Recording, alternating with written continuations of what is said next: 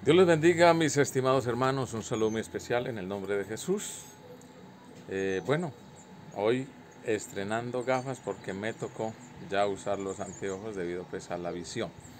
Bendiciones para todos. Bueno, hoy estoy desde el... Ah, venga, Bairito, vea, hoy estamos aquí en, hoy en la reflexión del día con una visita muy especial.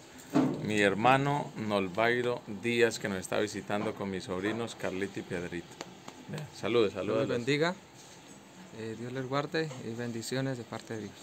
Amén, amén. Bueno, y hoy estamos desde el balcón de la casa pastoral, pero en la parte de atrás. Les voy a mostrar. Aquí vemos al fondo está el pueblo.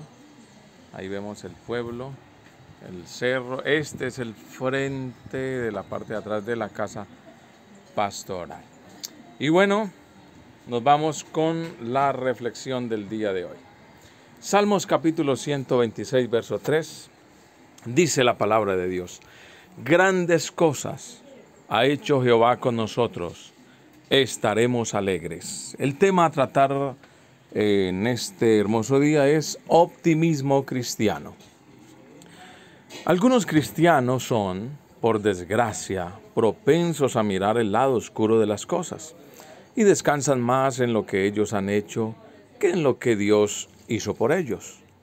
Pregúntales cuál es su impresión acerca de la vida cristiana y te describirán sus continuas luchas, sus intensas aflicciones, sus penosas adversidades y la perversidad de sus corazones, y apenas harán alguna mención de la ayuda de Dios o que Dios les concedió.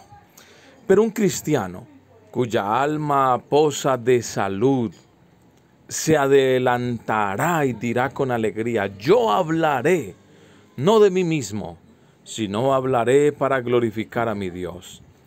Él me hizo sacar de un lago de miseria, del lodo cenagoso, y puso mis pies sobre peña y enderezó mis pasos. Puso luego en mi boca cántico nuevo, alabanza a nuestro Dios. Grandes cosas ha hecho el Señor conmigo. Estaré alegre. Una experiencia como esta es la mejor que cualquier hijo de Dios puede presentar. Es cierto que tenemos pruebas, pero también que somos librados de ellas. Es cierto que tenemos nuestras corrupciones y con dolor lo reconocemos, pero no es menos cierto que tenemos un poderoso Salvador que subyuga sus corrupciones y nos libra de su dominio. Al mirar atrás haríamos mal si negásemos que hemos estado en el pantano del desaliento y que nos hemos arrastrado por el valle de la humillación.